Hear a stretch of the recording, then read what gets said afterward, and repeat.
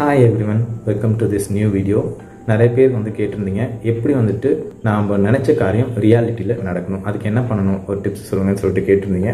So அந்த அந்த கான்செப்டில் தான் இந்த வீடியோவில் பார்க்க போகிறோம் வெரி இன்ட்ரெஸ்டிங்காக இருக்கும். வீடியோ கண்டினியூவாக பாருங்கள் ஸோ பிஃபோர் நம்ம ரியாலிட்டியை மேனிஃபெஸ்ட் பண்ணுறது அப்படின்ற டாப்பிக்கை வந்துட்டு போகிறதுக்கு முன்னாடி எல்லாமே எதோட அடிப்படையில் இருக்குது அப்படின்றத நம்ம புரிஞ்சுக்கணும். ஒன்று வந்துட்டு நம்ம அடிப்படை எல்லாமே வந்துட்டு நம்மளோட மைண்ட் செட் பொறுத்து இருக்குது எண்ணங்களோட கா- காரியத்தை பொறுத்து தான் எல்லாமே செயல்பாடு இருக்குது.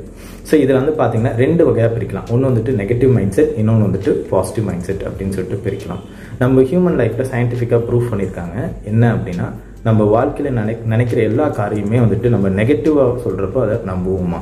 அதே வந்துட்டு பாசிட்டிவாக சொல்கிறப்ப நம்ம அது அந்த அளவுக்கு நம்ப மாட்டோம். ஒரு எக்ஸாம்பிள் சொல்லணும் அப்படின்னா ஒரு பர்சன் வெரி குட் பர்சனாக இருக்காங்க. அவங்கள போய் இவங்க வந்துட்டு ரொம்ப ஃப்ராடு இல்லைன்னா இஸ் அ பேட் பர்சன் அப்படின்னு சொல்லிட்டு சொல்கிறோம் அப்படின்னா அதை வந்து நம்ம அனலைஸ் பண்ணாமே நம்ம ஆட்டோமேட்டிக்காக நம்புவோம். இதே இது ஒரு குட் பர்சன் அதை வந்துட்டு இவங்க வெரி குட் அப்படின்னு பாசிட்டிவாக வந்துட்டு ஒரு பர்சன்ட்ட சொல்கிறோம் அப்படின்னா நம்ம என்ன இன்டென்ட் பண்ணுவோம்னா ஆட்டோமேட்டிக்காக இவங்க வந்துட்டு பேட் பர்சனாக இருப்பாங்களோ அப்படின்னு அனலைஸ் பண்ணுறதுக்கு நம்ம போயிடுவோம். ஸோ இதில் ஃபேக்சுவலாக பார்த்தீங்கன்னா நெகட்டிவாக இருக்கிற தாட்ஸ் தான் வந்துட்டு ஹியூமன் ஆக்டிவிட்டீஸில் வந்து நைன்ட்டி பர்சன்ட் வந்துட்டு இருக்குது. அதுதான் வந்துட்டு நம்புவாங்களாம் பட் ஆனால் அது நல்லதா அப்படின்னு சொல்லிட்டு பார்த்தீங்கன்னா கிடையாது. ஸோ அது நெகட்டிவ் அப்படின்றது எல்லாமே it's a bad thing so அதை வந்து நம்ம எலிமினேட் தான் வந்துட்டு பண்ணணும். ஸோ இந்த வீடியோவில் அதை எப்படி எலிமினேட் பண்ணுறது பாசிட்டிவ் மைண்ட் செட்டை எப்படி கொண்டு வரது அப்படின்றத ஃபஸ்ட்டு பார்த்துட்டு அதுக்கப்புறம் எப்படி மேனிஃபெஸ்ட் டெக்னிக் யூஸ் பண்ணுறதுன்றதை நான் டிஸ்கஸ் பண்ணுறேன் ஃபஸ்ட்டு நெகட்டிவ் மைண்ட் செட்டை எப்படி வந்து எலிமினேட் பண்ணுறது அப்படின்னு பார்ப்போம். ஸோ நெகட்டிவ் மைண்ட் செட் வந்து பார்த்தீங்கன்னா நம்மள அன்றாட வாழ்க்கையில் இருக்கும். அதை நீங்கள் உட்காந்து நீங்கள் அனலைஸ் பண்ணிங்கன்னா எது எதெல்லாம் வந்துட்டு ஐ டோன்ட் இல்லைன்னா நோன்ற டேர்மில் வருதோ அது எல்லாமே நெகட்டிவ் மைண்ட் செட் தான்.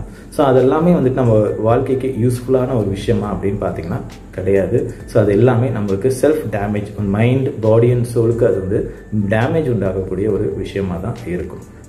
கோரில் அனலைஸ் பண்ணிங்கன்னா அப்படி தான் இருக்கும். பட் ஆனால் அதுதான் நம்ம ஹியூமன் பீயிங்ஸ் பிடிச்சிட்டு நம்ம அதில் தான் வந்து ஸ்ட்ராங்காக ஒருத்தர்கிட்ட ஒருத்தர் சண்டை போடுவோம். இல்லைன்னா வந்துட்டு ஏதாச்சும் ஒரு டிஸ்டர்பிங் அனாயிங் ஹேட்ரட் இந்த மாதிரி விஷயம் எல்லாமே இந்த நோ டேர்மில் தான் வருது ஸோ இது வந்து டேமேஜஸ் தான் உண்டாக்கும் இன் ஷார்ட் ஸோ அதை எலிமினேட் பண்ணுறதுக்கு you have to sit in a place அதை அனலைஸ் பண்ணி என்ன பண்ணணும் அப்படின்னா அந்த நெகட்டிவ் என்னென்னலாம் இருக்குதோ அதை மைண்டுக்கு முன்னாடி கொண்டு வரணும்.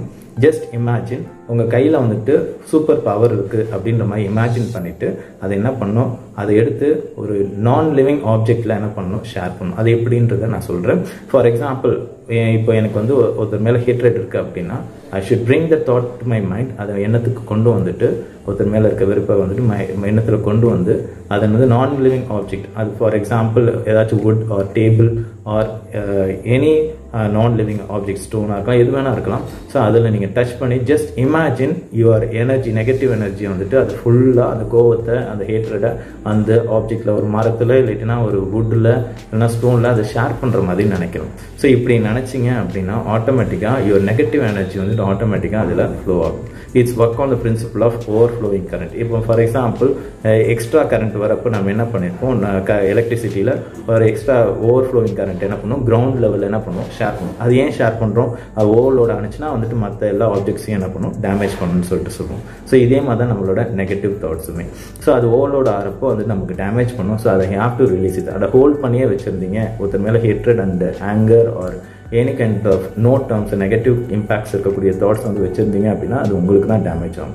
ஸோ எலக்ட்ரிக் கரண்ட்டை ஓவர் ஃப்ளோயிங் கரண்ட் வந்து எப்படி கிரவுண்டுக்கு நம்ம அனுப்புகிறோமோ ஸோ அது மாதிரி நீங்கள் you should imagine you place you hand on a tree or wood or stone அது you place you hand closer eyes and அதுக்கப்புறம் என்ன பண்ணணும் அப்படின்னா imagine you are sharing your negative energy to that object அப்போ என்ன ஆகும்னா அது ground எனர்ஜிக்கு போய்க்கும். அது ஆட்டோமேட்டிக்காக சயின்டிஃபிக்காக நிறைய லிஸ்ட் அவுட் பண்ணலாம் நான். ஸோ வீடியோ கன்சென்ட்காக அந்த கான்செப்ட்காக ஷார்ட்டாக சொல்லிட்டு அது வந்து ஆட்டோமேட்டிக்காக நெகட்டிவ் கிரவுண்ட் லெவல் போயிடும். யாருக்கும் அந்த டிஸ்டர்பன்ஸ் இருக்காது.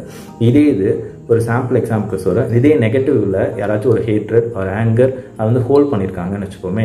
ஸோ அதை வந்து மற்ற பர்சன் ஹியூமன்ஸ்க்கு மற்ற ஃப்ரெண்ட்ஸ்க்கு ஷேர் பண்ணல. பட் ஆனால் அவங்க ஹோல்ட் பண்ணிட்டு இருக்காங்க அது தெரியுமா அப்படின்னு பார்த்தீங்கன்னா கண்டிப்பாக அது வந்துட்டு ஷேர் ஆகும். ஸோ எனர்ஜி நியூட்டன்ஸ் லா படி energy can neither be created nor be destroyed it appear in one form and reappear in another form சொல்லிட்டு பார்த்துருக்குறோம்.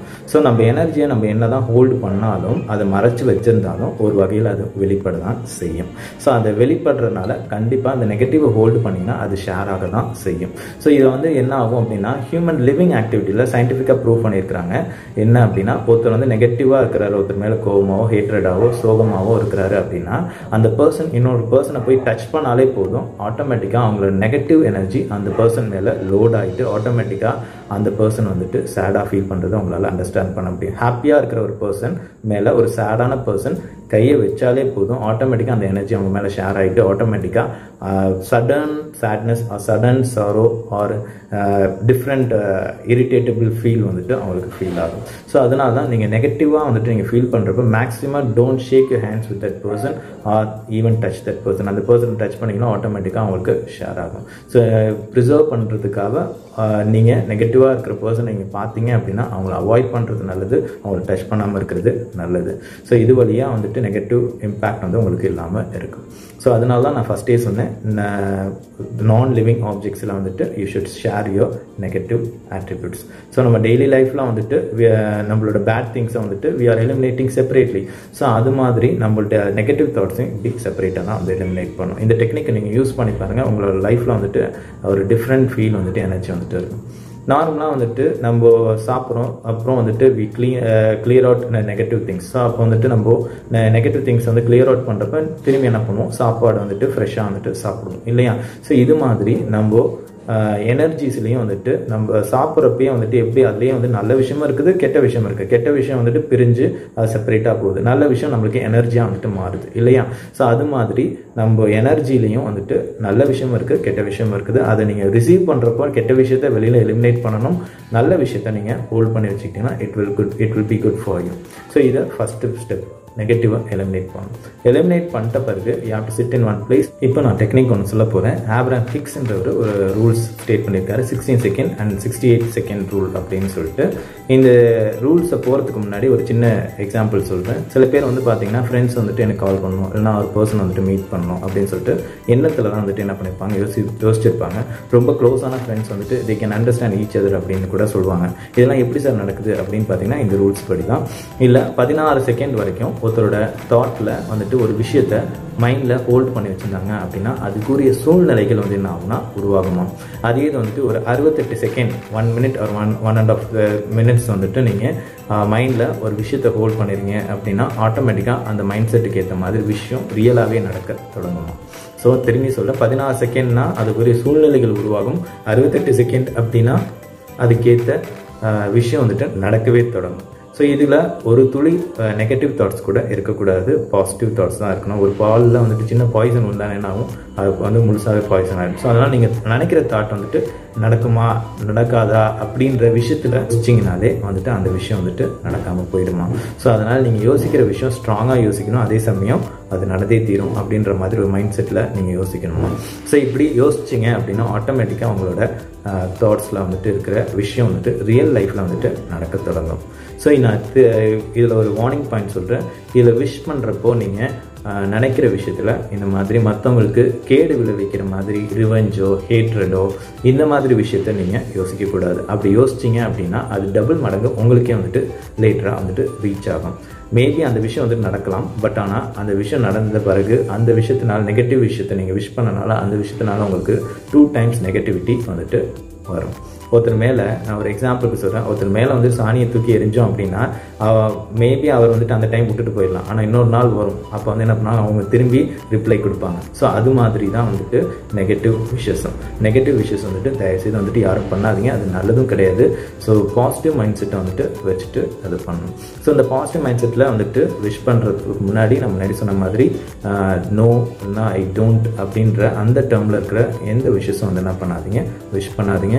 உங்களுக்கு உங்களுக்கு என்ன வேணும் அப்படின்ற ஒரு விஷயம் வந்துட்டு மட்டும் நீங்கள் டார்கெட் பண்ணி விஷ் பண்ணுங்கள் அப்புறம் கடைசியாக முடிக்கிறதுக்கு முன்னாடி நெகட்டிவ் தாட்ஸ் ஏதாச்சும் இருந்துச்சுன்னா நீங்கள் படுக்க போகிறதுக்கு முன்னாடி என்ன பண்ணுங்கள் நான் சொன்ன டெக்னிக் இந்த வீடியோவில் சொல்லியிருக்கிற அந்த டெக்னிக்ஸ் படி நெகட்டிவ் தாட்ஸை வந்துட்டு நீங்கள் ஹேவ் டு ரிலீஸ் இட் அதை ஹோல்ட் பண்ணக்கூடாது.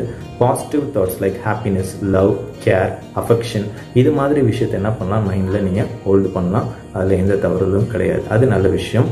ஆனால் அதே இது வந்துட்டு நெகட்டிவ் டேர்ம்ஸில் பண்ணக்கூடாது. ஸோ இந்த வீடியோ உங்களுக்கு ரொம்ப ஹெல்ப்ஃபுல்லாக இருக்கும் அப்படின்னு நான் நம்புகிறேன் இந்த டெக்னிக்கை ட்ரை பண்ணுங்கள் உங்களுக்கு வந்துட்டு எப்படி வந்துட்டு ரிசல்ட்ஸ் இருக்குது அப்படின்றத கமெண்ட் செஷன்ஸில் போடுங்க.